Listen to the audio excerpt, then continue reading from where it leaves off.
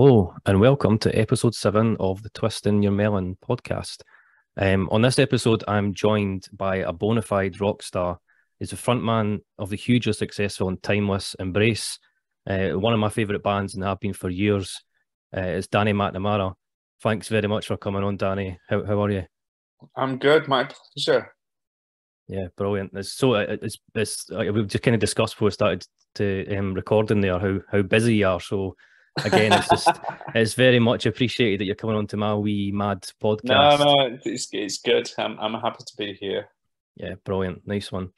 Um, I just wanted to pick something up with you. I was I was reading your um Wikipedia page, which is always a laugh because anything can go on on Wikipedia and it's always something something crazy in there. Um, and I, I noticed, and it made me chuckle. Uh, it had like your instruments that you play, and it was like vocals, guitar, and then kazoo. Yeah. And I was like, is that just purely because of Hooligan, or uh, have you got like a yeah, a, I'm a not like uh, I'm not a secret kazoo maestro. yeah, I thought I remember I didn't know if there was like a grading like you can with piano with kazoo.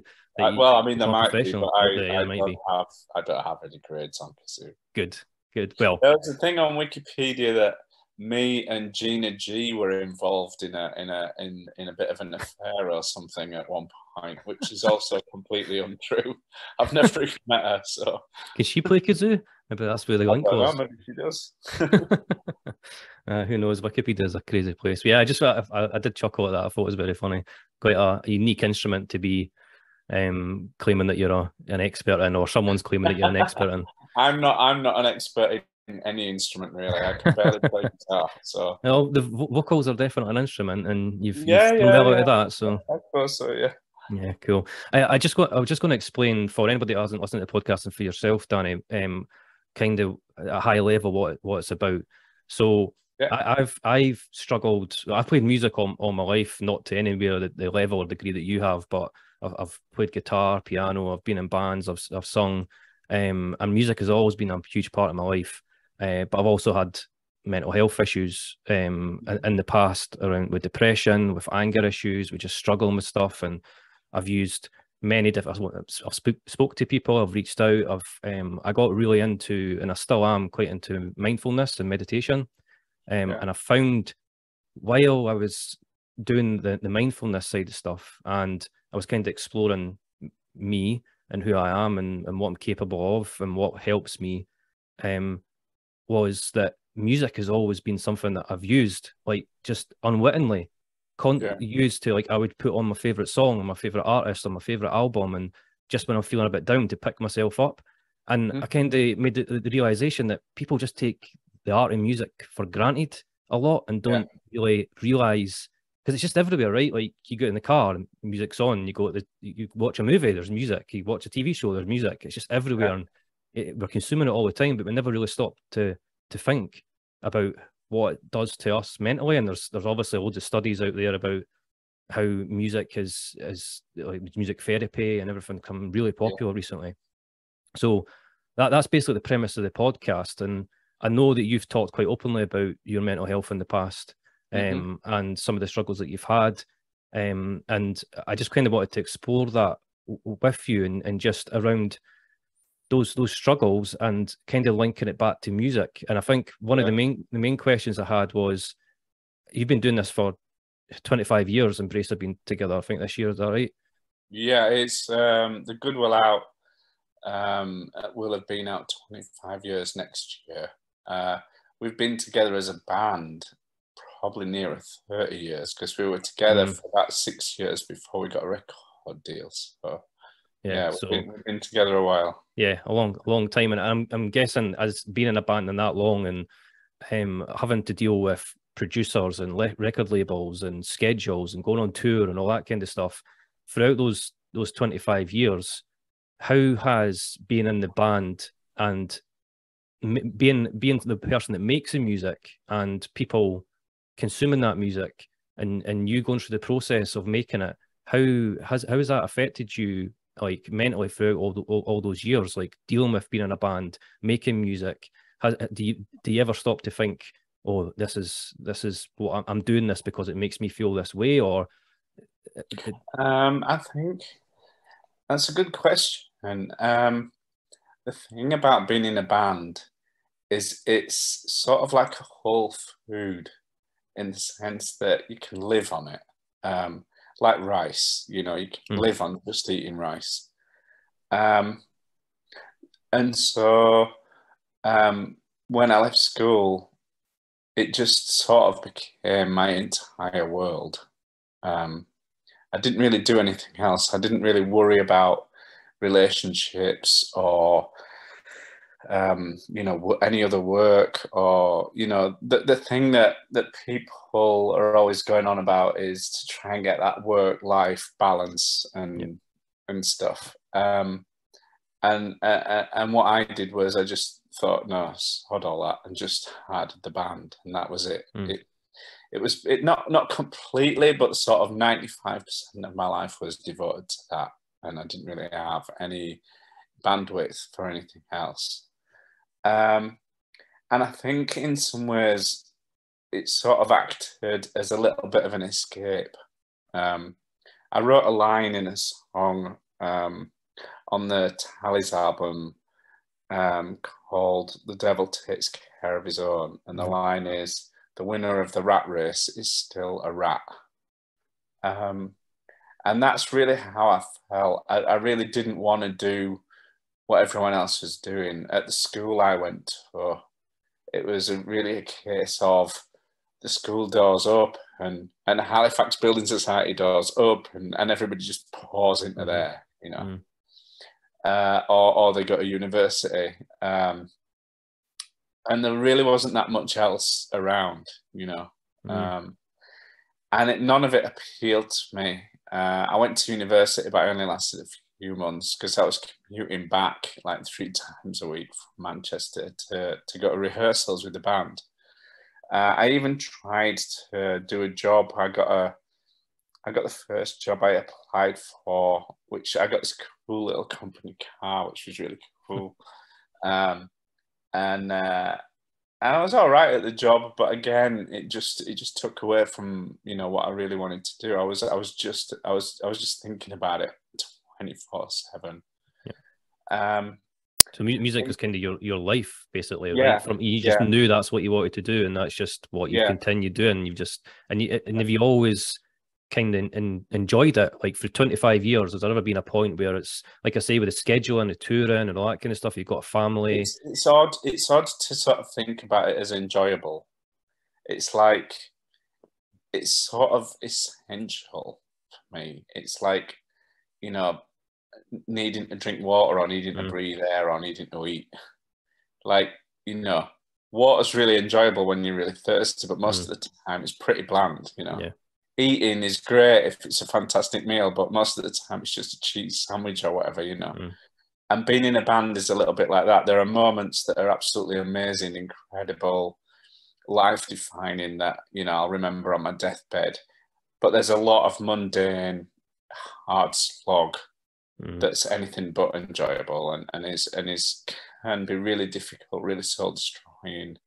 Um, you know, banging your head against a brick wall all day, every day for weeks on end and not getting anything when you're trying to write an album is really difficult. Yeah, um, and when I get people saying to me, "Oh my God, that's my dream job. I'd love to do that," um, I have a thing where I go, where I just give them an acoustic guitar and say, right, okay, we'll make a start now. There's an acoustic guitar. Go in that room and don't come out until you've written a hit song. And uh, they go, you know, I've managed to persuade people to go into a room and they come out 15 minutes later and go, I can't get anything. Yeah. I go, no, you need to spend at least eight hours. Yeah. And then if you don't get anything today, I want you to do the same again tomorrow and the day after. Yeah. And we did six years of that before we had anything like a demo mm-hmm. to send out. Um, and that's not fun, but it's sort of I needed to do it. There was like a drive in me that meant mm. that that meant that I felt like I was like um, down a coal mine or down down a diamond mine, mining for diamonds, just among all the dirt and the rubble, you know. Mm. And every now and again, you get one, and then you know it's really exciting for for you know when you get a song, it's like it feels. I mean, I don't really believe in God, but it sort of feels like God has sort of ruffled your hair up and gone, there you go, lad. You know, like it just feels like you've got a purpose and you've got a reason to be. Um, and it's the most incredible sort of feeling. And, and you can buzz off that for maybe a day or two, mm. and then you go back to the grind again. So that's generally, yeah. yeah. So it, it is like a job, and in, in, in a lot of aspects, isn't it? Right. So yeah. Well, the, the, the thing for me, the thing about a job is if it's a job where you find it fulfilling, like you know maybe being a doctor uh, or mm. a teacher, maybe, or you know where it's like almost like a vocation where mm. you know you do the job. Sort of the money is obviously important to anyone, but it's not the be all and end all of the job. The job itself is is in a way its own reward. It's like that but it's incredibly demanding. Um, yeah. You know, I've had people who've done other really, really high pressure jobs, and then I've sort of discussed, you know, what what we do, and and it's not really often discussed because it sounds like you're whinging. You know, it's like, oh my god, you're a rock star. Fucking hell, everybody wants to be that. Chill the fuck out. You know, so you can't really go on about how hard it is too much, but there's a bit of stigma around really that. yeah, there's a stigma around that because I I did an episode uh, of the podcast with a, a, guy I used to be in a band with, and we did a bit of research around. I think the the, the one they weren't like hundred percent proven, but they they reckoned that musicians were one of the highest percentage rates to have mental health issues or yeah, suicides. Yeah, um, sure, yeah and like people just think, like you say, like you're you're a rock star. You're you going here, you're doing there, you're playing in front of these thousands of people who would kill to do that to, to be in your shoes, but they don't think about everything else that goes with it. That you can yeah. only really experience if you've been in that situation yourself. And there is a bit of stigma around, I think, that people just expect you just to suck it up and enjoy it. Yeah, yeah, for and, sure. Yeah, and and you know, I'm not saying it's not enjoyable. It, it can't, you know, there's amazing uh, moments that that you know obviously make it all worthwhile. Otherwise, I would have given up a long time ago. You know. Yeah. Um, but yeah, it's it, it, can be really really tricky. Yeah, definitely. Yeah, and you had like so you've had quite a few stints in Embrace where where you've not done much for. So like I think after this new day to the self-titled yeah. album was like eight years or something, and yeah. then to this this latest album that's about to come out, it's been about three years, and obviously yeah. pandemic is a consideration to that one. But when when you've been out of the, the game, um, so to speak, for that length of time, when when you're like music is you breathe music and that is your life. What what do you do in those situations? How do you keep yourself from? Did you have like proper low moments in there, and how did you deal with um, it? Well, um, we're usually doing music. The gap is just that we haven't got anything good enough yet. Mm. Um, the gap between this new day and the Tallies album is slightly different in that we did take a break we only took a break really for a couple of years. It was like two or three years, and then we went back in the studio. And it just took us like three years to get an album good enough. And um, generally, that seems to be how long it takes us to get an album that's good enough. Mm. You know, I would almost be suspicious if we released an album quicker. It probably might not be as good as it should be. I mean, we might fluke it. Mm. Um, but what I would say now is that we definitely won't release an album unless we think it's good enough now. Yeah. So it's it's dictated by that, and so the gaps are just we're not there yet, you know. Yeah. So so yeah, you say you're just kind of you're still doing stuff and you're still getting that music fixed. So there's yeah, never really been. Yeah. Do you get like still banging my head against the wall twenty? Yeah. So and that's what I was going to that's what I was going to ask. Like if you're banging your head against the wall and you like say on those eight years, for example, between this new day and the the self titled album, and and it was because you just couldn't produce something you felt was good enough. Yeah. How does that affect you mentally? Does it become like to the point? How do you how do you get yourself out of that um, rut where you need to get something out good and you keep going and you keep going? Um. That, that's really a, a, a, great question again. Um, it's really difficult to, to get great stuff when you get something that's really good, though, it sort of shines a light on everything else.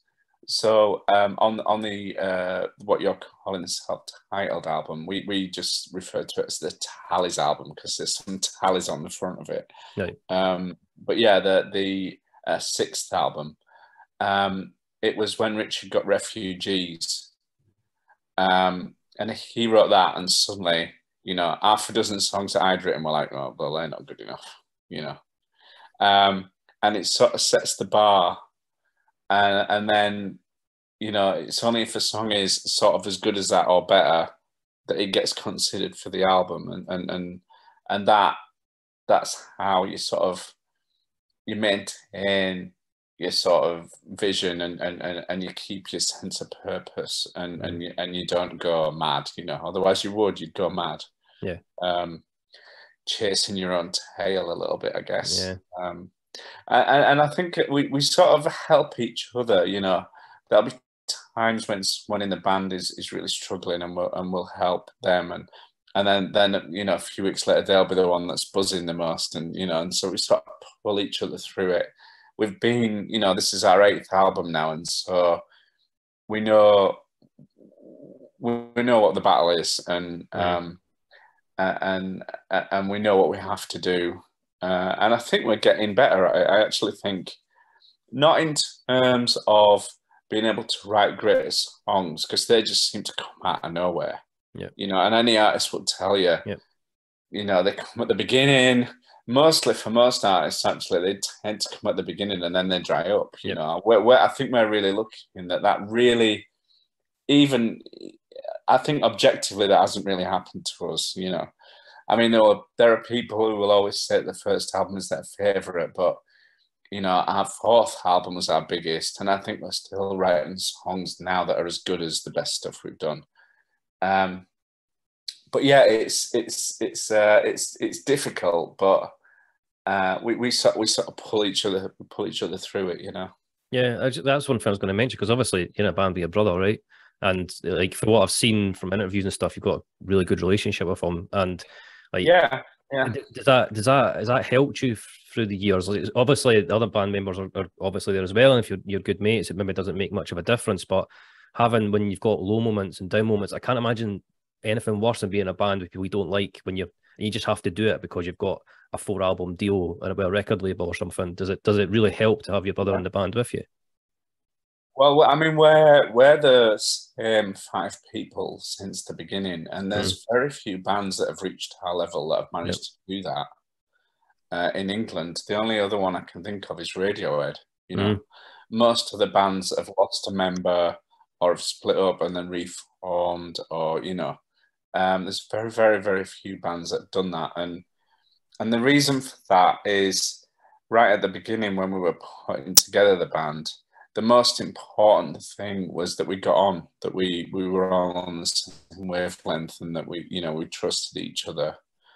Um, obviously, it's important that you're able to play. Um, but you know, in the beginning, we, we me and Rick couldn't really play, or yeah, I certainly couldn't sing, and um, you know, we couldn't really ask for the most technically adept people to come and join us, you know. Um, and and and so it's sort of we're we're all like really close. Um, we're all very different as well, um, and we all sort of plug into like a jigsaw piece into mm. the whole. And when we have a meeting, if one of us is missing, it sort of goes off kilter a little bit because that 5th mm-hmm. person's influence isn't there um, and and and yeah just just just being together it's like a marriage you know we've been together for like 25 30 years and we've we've just we've got an understanding and a respect and a trust for each other that, that's that's come from being in the trenches on all the albums yeah. and touring the world and living in each other's pockets that just um makes the bond really strong you know? Yeah. One one big family you might say to use a yeah a song yeah, title.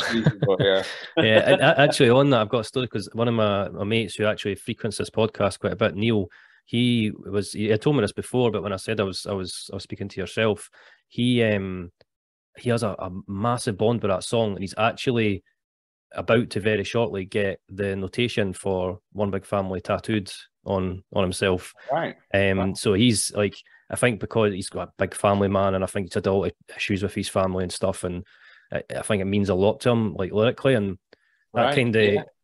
I think a lot is to me. Embrace's songs I've always had this kind of undying optimism throughout them, and they're always kind of like this foundation of hope. And music, you interpret everybody interprets music differently, right? But I think the majority embrace songs, and again, to me, have that sort of hope in them. There's always uh, yeah, a, a sort of crescendo even or a when, build even when you're down, when, even when you're down a dark tunnel, there's always like a little chink of light at the end. Yeah, Yeah, e- exactly. Like there's so many I could list off. Like even someday on the um out of nothing album, it's just like I love that song, and it's just got so much hope and optimism in it.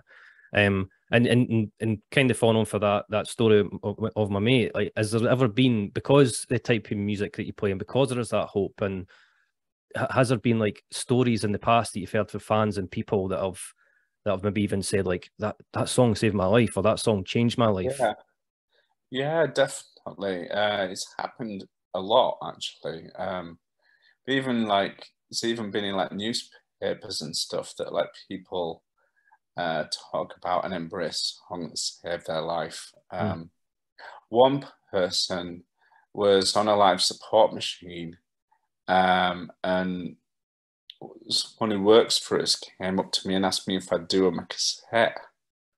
Uh, and and I did, and they made it. You know, they got through, Wow. which is amazing. You know, um, it's quite a responsibility, but and I've also had like uh, people who are dying who want to see me before they die and stuff like that. You know, Wow. so there's and and then yes, certainly. Um, I've done quite a lot of advocating for mental health, and so yeah, I get quite a lot of messages from people, um, you know, particularly soldiers, for instance, who Right.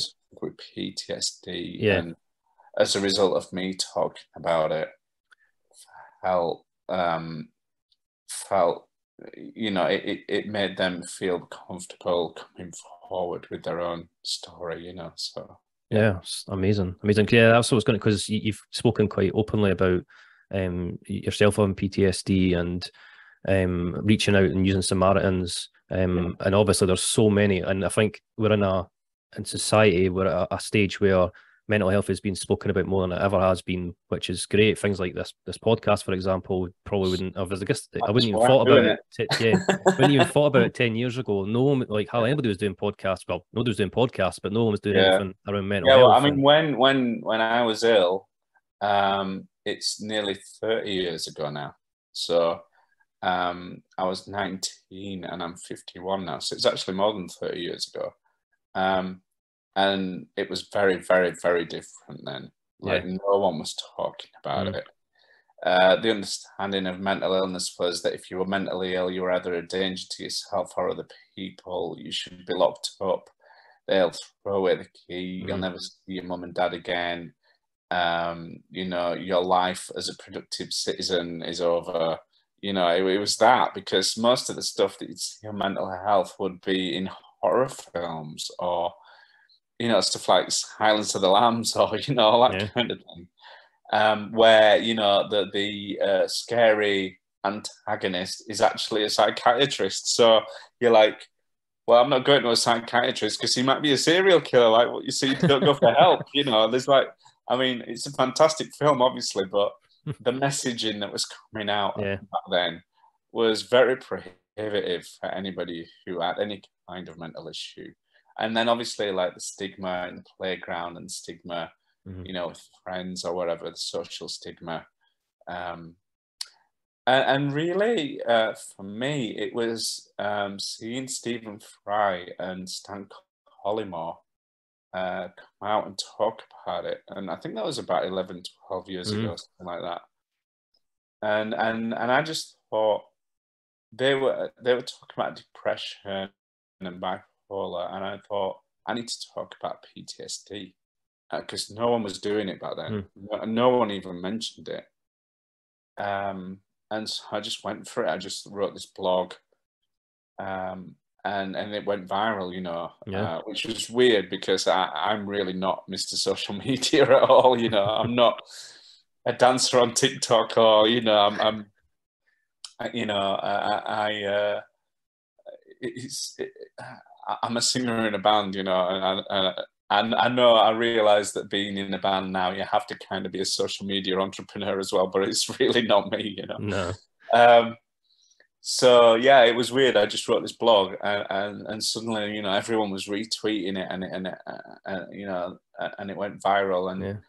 and then uh, from that, the Samaritans got in touch, and Mind got in touch, and various other uh, mental health charities got in touch, and and I started uh, started advocating for them, um, and then yeah, it's just been sort of a journey where if someone you know wants to talk to me on a platform about mental health, I do because when I was 19, if there were people who could have talked about PTSD back then, I wouldn't have suffered alone in silence for so long. Exactly. I mean, I suffered for a long time Yep. before I went for help.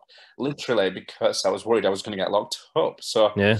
I just kept it to myself, you know, my suffering. I kept it to myself, uh, and and it wasn't until I, you know, I was sort of having fifteen panic attacks a day. My mom had to actually carry me to the Mhm. hospital to the doctors. Um, that I went and got help. You know, I was I was I was in dire straits before I got help, and um, I just uh, seen recently uh, Paddy the Baddy. You know the uh, Yeah, yeah, the The UFC UFC. Yeah. talking about his friend who unfortunately took his life. Um, and that is so important that he does that because in that audience, there's, you know, thousands of men, generally probably high testosterone, least said, soonest mended type men who would probably think opening up about their feelings might be a weakness. And for him, you know, the main man in the room to say, no, you've got to talk, uh, is just incredibly powerful. Yeah, it really is. It really is. And I think like uh, sports seems to be like that. I've been part of a podcast with football, um, and it's men talking that are big supporters of football, have played football, and talking about mental health. And it, but there is still it was it's great that the, it's much more open now, and people like yourself, you've got a platform and you're you're using it for the right things, and it's brilliant. And there's so many other people doing that. Um, but there is still a lot of people out there that just feel like they can't speak up. So obviously Yeah. just need to keep getting the word out there and and trying to use things Yeah. like talk, talking about things like the link with music and using music and stuff like that is just like that is it's just fundamental stuff that people don't ever think about and there is Yeah. so many support groups out there so it's like it, it- yeah i think what you're doing is and what you have done um danny is absolutely brilliant I um, think um, the best music um, it's part of like, it, for me anyway, it's when you feel like there's someone who you've never met, but their music sort of screams, you're not alone through the speaker. Yep. You know, I feel like you, I've been where you are now. Don't worry, you know, you feel lonely, you feel isolated, but you're not. And um, and it can be it can be the most unlikely song that gives you that fellow feeling, you know. But um, that's one of the most powerful things that a song can do. I Yeah. think. It really is. And that was one because obviously, so the, the your your PTSD um, and getting that help was before Embrace, right? Yeah. And Yeah. did you? Well, it was it was I was in the band, but the band hadn't been uh, Yeah. a record deal yet, so Yeah. it was in, in the sort of early days of the band. right. Then did you? Do you think that you used even unknowingly used the music, or you incorporated your experience uh, with with PTSD and with mental health issues to sort of inform your music and what music that you were actually creating? Do you think it, it, it if you hadn't had that, as horrible as it was, do you think you would have been able to produce what you what you did? That's, that's another great question. Um, I don't think so. You know, I I think that because we were we were writing songs for quite a few years before um, I had the breakdown, Mm. if you call it that, um, and then um, before that, all our stuff sounded fairly derivative. We sort of sounded like a mixture of all our influences, you know, bands like Mm. And the Bunnymen and U2 and PJ Harvey and The Cure and all, all those bands from that from back then. And um, and then when I when I sort of when the illness came to a peak and and and I was having like I said 15 panic attacks a day and I went to see a therapist, it sort of opened up something in me and I wrote this song called Retread. Yeah, brilliant song. Which was just really honest and really raw and really not like anything that I was listening to at mm-hmm. all. Uh, I mean, you, we, we, sort of. I, I, remember Richard finding it on a on a cassette and saying, "What's this?" And I was just like, "Oh, that's just me, you know, singing to myself at night." And he's like, "No, I, love this. This is great." And and then he put that guitar riff to it, and it really grew. But I just thought it sounded like a country and western song, like Tammy Wynette or something like that, and and I thought it was a bit cheesy. Mm. Um, and Richard was like, "No, no, no, no, no. This is this is us. This is what we're about. This is this is this doesn't sound like our influences anymore. This just sounds like us." And I think um, almost being ill sort of broke a wall or a barrier hmm. inside mm. me that was stopping me from opening up. And then the illness almost like punched through mm. um, and enabled this stuff to gush out, you know, um, like a well almost. Mm. Because right after that, I was then writing like, you know, a song nearly every day. I mean, we talk about um, earlier on about how hard it is when you're not getting them but back then, in the early days, I was I was I could just sit down and write one, you know. Um, and now and again, I can now. Hmm. You know, now and again, I get like a, a, feeling. There's a there's a really weird sort of slightly anxious, slightly elevated, slightly skittish, slightly hyper feeling that comes. And when you get that, it's like right, pick up the guitar. Something's on its way, you yeah. know. Um, and I always think when um, when artists talk about how they don't feel like they write the songs that they're sort of channeling something, it's because it's not a crafting conscious process. That moment when you get an idea, it really does come out of nowhere, mm-hmm. you know, out of nothing, like the like the album. you know. Um, so yeah, it's it's uh, yeah, yeah, no, I, it makes total sense, and I think I think that comes through in your music. Like definitely, like I say, there's that sort of hope and optimism through the majority of embrace songs that, that my favorite ones anyway have all got that, and I found myself many a times when I'm feeling a wee bit low is, is putting on um like out in the ashes is probably my favorite Embrace song. I, I, don't know what it is about it, but obviously yeah, it's, it's just a, yeah, it's yeah, absolutely phenomenal song. Even because back when when that came out, music videos were still quite a thing. They're not so much anymore. Yeah. And I remember, and I all every time I listen to it, I think the music video was just accompanied that song so well when you were in the theater and everything just coming building back is like everything was in reverse, and it just it has that. It's like a a visual um, representation of the song and that yeah. like I'm building back up from nothing. Like I'm, I'm building myself back up.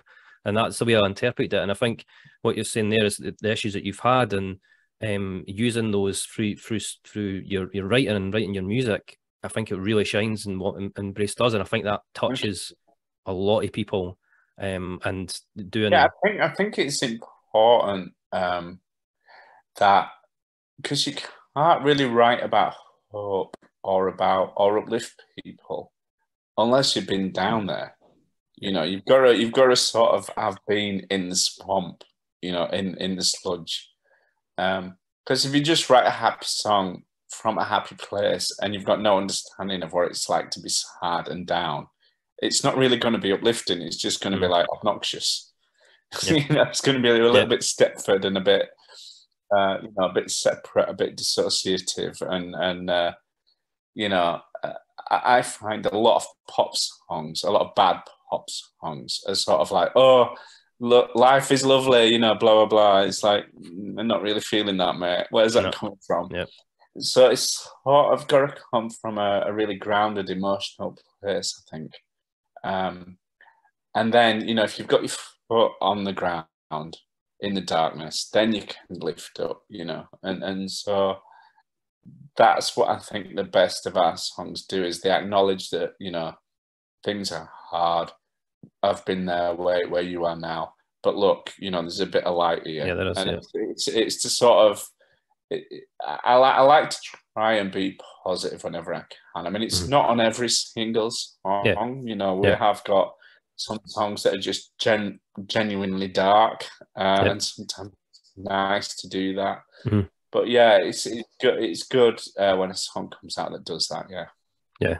Oh, it really does, and I think you, you guys nail it, um, like massively. Um, I I just wanted to touch on something you, you talked about earlier, where you mentioned that you, you went to uni for like a couple of months, and I don't know. Again, Yeah. Wiki, Wikipedia could could be right, could be wrong, but it said that you were you were looking to study psychology, Yeah. which is Yeah. quite, I thought was really interesting because I done the subject matter. yeah, I did it for three months. I I was like, it was before I got ill, but I think in the back of my mind, it must have been like a, a sort of an area that was interesting to me. I, I guess maybe maybe I could foresee that I was going to have a history of, of needing help. You know, um, there's a common thing in in in uh, in psychology degrees where sort of first years really look into all the things that can go wrong, and then in the Mhm. second year they all get something. Is like the sort of the joke, you know, or the or the or the, the myth. Um, and in a way, I suppose that's kind of what happened to me.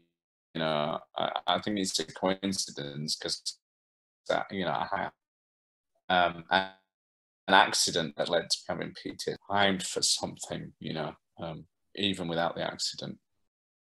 Yeah, I mean, and did you think like even though you did it for a short time, you obviously were interested in psychology, right? So did did you carry that through? Like, see when because one thing that I'm quite interested in is like said, music therapy and stuff like that. And trying, I, I know bugger all about it, but like I'm I'm trying to to learn about it because I do find it fascinating. But when you're listening to not just like not, no, it doesn't doesn't have to be anything to do with your music, but if you listen to any, any other music, does it do you have you got that intrinsically like in your mind that this song is doing something to me, like using that uh, interest in psychology, if, you- even if you still do it. I know I realize it's a long time ago, but does that interest in psychology mean, ever I- link I- to music? I've I've definitely uh, had a lot of occasions in my life where music has has sort of soothed me. You know, Yeah. um, from the very early days when my mum used to sing to me as a baby. Even Mm. I can remember, I can remember some of the toddler stuff definitely. Um, all the way through to like nowadays, I'll stick a Carole King song on, Yeah. or you know, um, or Sly and the Family Stone, Everybody's a Star is one that generally lifts me up. Um, and yeah, you know, songs can reach you, reaches the other parts that, that, that other things leave behind. You know, it's almost like that beer commercial, um, you know, and um, yeah, music can definitely do that. And, and, and, and so it should, I think. Yeah, definitely. Um, I'm I'm conscious of the time, Danny, but I- just wanted to touch on your new single that you've got that is basically out just now is We Are It, um, Yeah. from the forthcoming album How to Be a Person Like Other People. Yeah. Um, the title is that about an, an oxy, the deliberate oxymoron, the title of the, the, the album, like like being a person like other people, or is it is it is it sort of Um, ironic? Yes. So, yeah, yeah, kind of. It's taken from um, the script for the Joker. Uh, you know the film with Joaquin. I can, yeah, yeah, yeah, And in it, there's a scene where the Joker is watching some tapes of uh, Robert De Niro's chat show host Yep. introducing guests. And he's going to be on the show later on. Yep. And so he's watching it and he's he's watching how the guests get introduced, how they sit down, how they hold their drinks. And he's watching how to be a person like other people. And I read Mm. that and I just thought I really related to it because I had quite a wild imagination when I was a kid. Mm. And it made me quite feel quite isolated and separate. And I guess being in a band was almost like my way of curing that because it didn't matter that I was separate and isolated because I was cr- being creative, Yep. you know. And um, but I met my wife uh, nearly a decade ago now, and um, and one of the things that she has done for me is show me how to be a person like everyone else. uh, and sort of day by day, there's nothing like having two children under three to snap you out of any, you know, any wild imagination or creativity you might be doing, you know. Um, yeah, I know that one. And bring you down to earth, you know. Yep. And and and it's been it's been an incredible journey, a, a really sort of a roller coaster ride, a really really joyful as well. Um, in not in like a shallow, like obvious way, but in a really deep, gentle, hard to spot way. Mm. I just feel happier than I ever have, you know, uh, because I've let real life in. It's not. I'm not so much in my head anymore. Yeah. I mean, I'm still really creative, but I'm more balanced now and and happier. Um, and yeah, how to be a person like other people is all about that journey. And we are it is basically about me and my wife because mm. you know um, I wrote uh, the f- the first ever sort of proper song that I wrote, Retread. I wrote that line. I find myself redeemed because no one's seen the bad in me or been where I've been and not turned to leave. And but then you know my wife came along, uh, and and she didn't turn to leave. You know, um, so in a way, we are it is like the end of the story that began with retread. You know, yeah. or, or or another another landmark in the story. Yeah, There's and, yeah. more stories yeah. to come. But yeah. Brilliant, uh, and it's like a fantastic single. Um, it's back. I think it's back to more towards like the Good Will Out kind of stuff, right. in my opinion. Oh, it just, I think, I think it's not like I, I think Out of Nothing's probably my favorite uh, album, but yeah. I think the obviously Good Goodwill was was seminal, um, and I think that yeah, the yeah. BR is is fantastic, and you can tell again that the, the love that you've put in just that story you told about being about your wife and we are it, and you, you yeah, can feel that in the song. So it's uh, brilliant. It's, it's, great to have you yeah, back. It's all all real. Um, there were there were a couple of songs that we wrote um, the album that were really catchy, but they just didn't have that emotional yeah. wallop, you know. Yeah. And we didn't put them on the album. The album Mm. is all about that. You know, if it doesn't get you, then it's not it's not going on there. Yeah. Brilliant, brilliant. Um, just quickly to to finish things off, Danny, I, I do this for, and I'm sorry to put you on the spot, but I do this for right. uh, the end of every um episode uh, when I got a guest on.